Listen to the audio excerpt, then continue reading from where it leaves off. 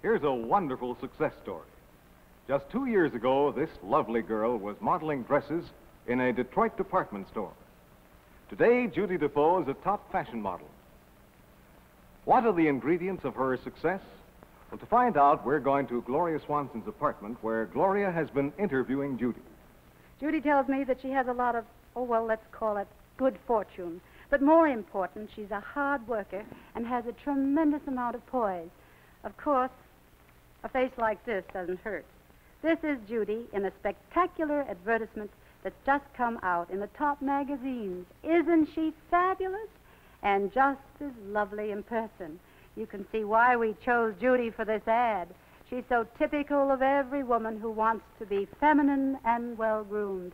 And it's these very women who will truly love the fabulous new Schick Crown Jewel electric shaver. It's completely new.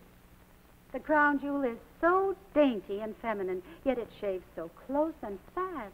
That's because inside are 96 tiny blades you never see or feel, and they shave underarms and legs immaculately clean. And the crown jewel doesn't nick or cut. Yes, this jeweled alabaster beauty works so beautifully. The reason, once again, is right under this smooth golden shaving head. Now, at the flick of a switch, not one, but 96 tiny blades you never see or feel, clean away every unwanted hair.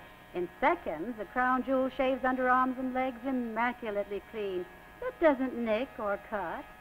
I love mine. Now, like Judy, every woman who wants to be immaculately clean should have a fabulous new Schick crown jewel electric shaver for mother, daughter, any woman. It's a wonderful, truly wonderful gift.